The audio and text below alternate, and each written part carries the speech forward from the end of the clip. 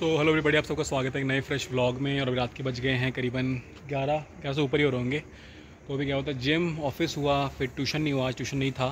फिर जिम हुआ जिम में आज क्या है ट्राइसेप्स और चेस्ट काफ़ी मज़ा आया करने में। दिन में शूट बिल्कुल नहीं कर पाया, आज थोड़ा काम ज़्यादा था और मौका नहीं मिला अभी मतलब शूट करने का। तो अभी फाइनली जो है शूट कर रहा हूँ, रात के काफ़ी लेट हो गया है बट कोई नहीं कभी चलता है ऐसा।